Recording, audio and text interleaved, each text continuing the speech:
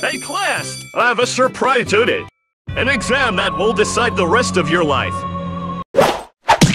I'll solve this problem with my hyper-intelligent brains.